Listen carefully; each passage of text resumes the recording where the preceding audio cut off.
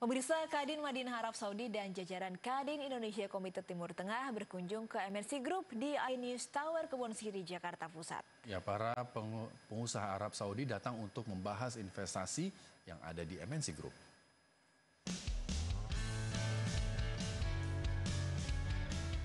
Kedatangan jajaran bisnis Kadin Madinah Arab Saudi disambut baik oleh jajaran direksi MNC Group. Selama satu setengah jam, jajaran Kadin Madinah menerima penjelasan semua lini bisnis MNC Group seperti properti, media, travel, sekuritas, dan perbankan. Tidak jarang pihak Kadin Madinah Arab Saudi menanyakan beberapa investasi yang menurut mereka menarik dan menguntungkan. Menurut Ketua Kadin Komite Timur Tengah Muhammad Wabazir, kunjungan Kadin Madinah ini merupakan kelanjutan kunjungan Raja Salman beberapa waktu lalu. Pasca kunjungan Raja Salman diharapkan juga uh, kita membicarakan bisnis yang uh, tentang informasi, tentang turisme yang dahulu memang sangat jarang dilakukan antara kedua pelaku bisnis Indonesia dengan Saudi Arabia. Usai mengadakan pertemuan, jajaran Kadin Madinah Arab Saudi sempat berkeliling di studio iNews Tower. Bahkan mereka sempat mencoba studio seakan seperti siaran. Mereka berharap nantinya ada channel berbahasa Arab. Um, we show a good place, very very nice place.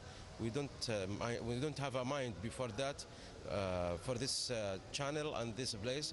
Now we have a new new mind for him. We ask him now in, uh, on the TV. We need Arabic channel from there, talking in Arabic. Inshallah. Thank you so much and nice to meet you all.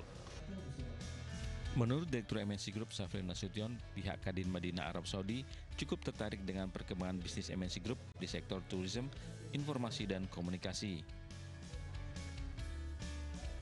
Ya ini kedatangan dari uh, Kadin Madinah, uh, pengusaha-pengusaha dari Madinah yang datang kemari. Kita tadi mempresentasikan uh, tentang MNC Group, tidak hanya di media, kita tadi menjelaskan tentang Eh, properti-properti uh, yang ada di bawah MNC, termasuk juga uh, bisnis lainnya, financial service dan lain-lainnya.